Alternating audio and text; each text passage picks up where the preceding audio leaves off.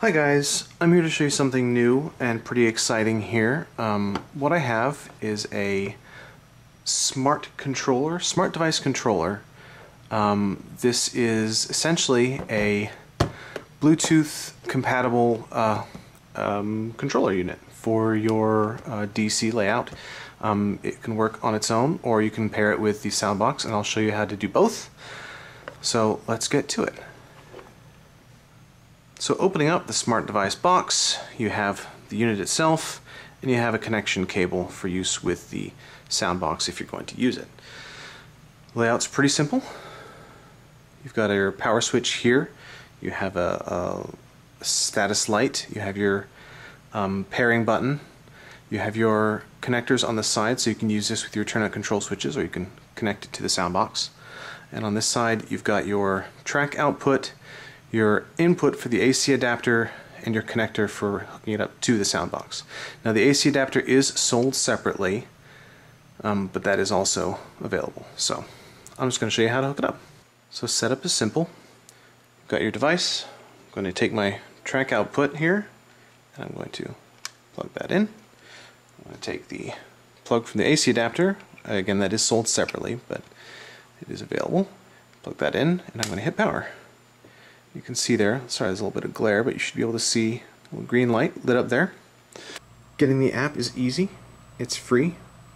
Just type in Kato Smart Controller and it is the first thing that will pop up on the uh, Android and Apple iTunes store. Go there, install it, and you're good to go. Alright, so with everything turned on, you're going to want to open up your Smart Controller app so here we have a, a, blank screen, but if that's turned on, you'll see that popped up there. If it doesn't pop up right away, you can just push the pairing button on there and the light will start blinking. Um, and you just wait and then eventually this will show up. Obviously you'll have to have the Bluetooth turned on on your device. So I'm going to go ahead and hit that. Check buttons active. These little icons show up up here. I'm going to click the train. It's going to load in. Our light has turned blue, which means we are connected. And now we have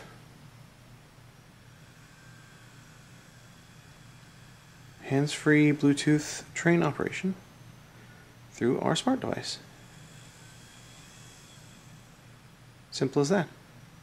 Now, uh, this is fairly bare bones. You can see here you just have a throttle and direction um, emergency stop, but it can actually do a whole lot more if you connect it to the sound box. So I'll show you how to do that next. Alright, so to hook up the smart controller to the sound box, you're going to need your COM port cable, which comes with it. Now we'll just go into that little hole right there. And what I'll also want to do is plug the track power into my sound box. Because if you forget to do that, then your sound box will be making a whole bunch of noise and it won't actually go anywhere. Plug this into the port. It says COM port again on there. And just connect this to the side of the sound box.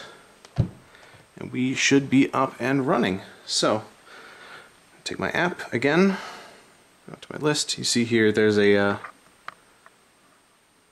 see there's a little red X there, which shows that it is uh, not currently connected. So I'm gonna turn that back on again. You'll hear the startup of the sound box there.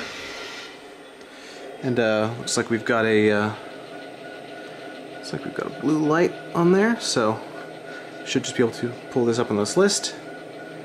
And there we go. So you can see here the interface has changed a little bit. You've got a little more extra stuff. You've got whistle 1, 2, 3. You have a signal strength indicator. Um, if I wasn't using a weird prototype sound card, you'd actually see the name of the sound card you have in there. And you've got your 1, 2, 3, 4, 5, 6 function buttons, just like the sound box. You also have little drop-up menus you can pull up for volume, or the synchronization, or the start voltage. So you can kind of mess with all that and uh, whatever you do on here will overwrite whatever those settings are. So if you need to make adjustments, uh, you can all do it from the palm of your hand. It's very simple. So you have all the all the various functions you would normally have with a soundbox. You can change your horn, you can ring the bell, you have your brake functions, um, you've got your sh uh, shutdown, startup sequence, you've got your coupler clank noises, and of course you have your throttle.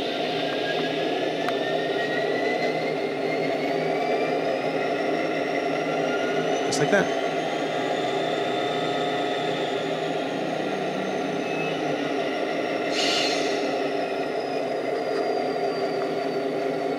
So yeah, it's pretty simple, and you get all the uh, get all the controls you have in the soundbox right in the palm of your hand. So you can take this and you walk around with it and